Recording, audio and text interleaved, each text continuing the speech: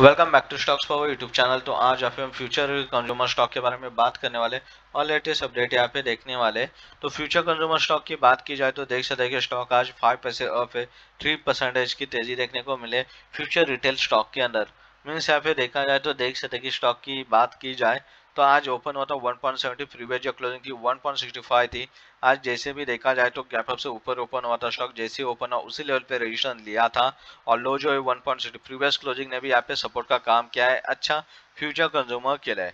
Market cap देखोगे तो 327 करोड़ की मार्केट कैप है। फ्यूचर कंज्यूमर की पी रेशियो नहीं है डिविडेंड भी ऑफ़र नहीं करता है स्टॉक तो फ्यूचर कंज्यूमर स्टॉक का यहाँ पे बाकी के डिटेल है, जैसे कि लास्ट फाइव डेज़ की मूवमेंट देखी जाए तो देख सकते कि पिछले पाँच दिनों में स्टॉक में कोई खास मूवमेंट नहीं है। चौबीस मूवमेंट बनती जा रही है। लास्ट वन मंथ में तो तकरीबन देख सकते कि फाइव परसेंट से ज़्यादा गिराव देखने को मिले फ्यूचर कंज्यूमर स्टॉक के अंदर। तो फ्यूचर कंज्यूमर आज की मोमेंटम देखी जाए तो देख सकते अपर सर्किट लेवल भी 1.70 है।